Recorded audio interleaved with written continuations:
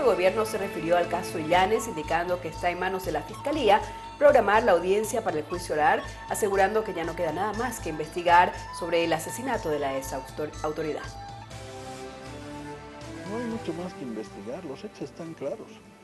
Hay unos asesinos, sabemos quiénes son, están identificados, hay un organigrama que lo presentamos también hace, hace, casi, hace casi un año, lo presentamos a los días del asesinato lo presentamos en el Parlamento Nacional. Con estas declaraciones, el ministro de Gobierno señaló que deja en manos de la Fiscalía el momento para que las investigaciones por el asesinato del ex viceministro Illanes ingrese a juicio oral, puesto que este jueves se cumplen 10 meses de aquel 25 de agosto, cuando la ex autoridad fue asesinada en la localidad de Panduro por mineros cooperativistas. Hay un organigrama de los eh, autores eh, materiales intelectuales de este hecho y, bueno, ya ese es un trabajo de la justicia, ¿no? Nosotros ya no podemos meternos. Asimismo, la autoridad manifestó que existió falta de experiencia y desobediencia por parte de Ileanes, ya que el fallecido viceministro desoyó la orden de Romero, quien le pidió que se quedara en Cochabamba para hacer seguimiento por la muerte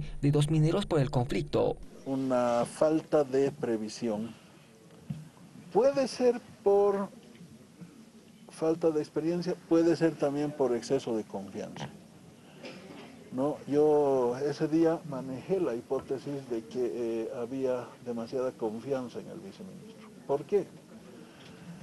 Porque él había sostenido comunicación con algunos dirigentes. Ese fue el problema.